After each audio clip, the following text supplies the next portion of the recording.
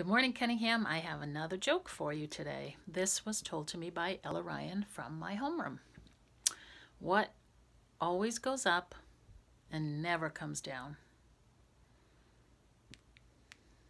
Give up? Your age. Good morning. Today is Monday, February 8th, 2021. My name is Jackson Slater and I'm in Miss Donchemont's and Miss Kelly's fifth grade class. Today we are going to shift from unsung heroes told by Joel Gill and turn our attention on a more current amazing black American. Her name is Amanda Gorman. Amanda Gorman is a 22-year-old woman who wrote a poem called The Hill We Climb at this year's presidential inauguration. Since then, a video of her powerful performance has gone viral.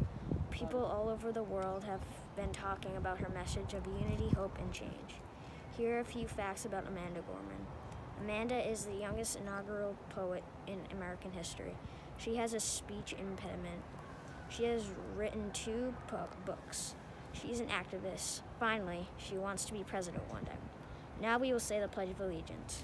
I pledge allegiance to the flag of the United States of America and to the republic of which it stands, one nation, under God, indivisible, with liberty and justice for all. On the count of three, let's take two morning mindful breaths together. One, two, three.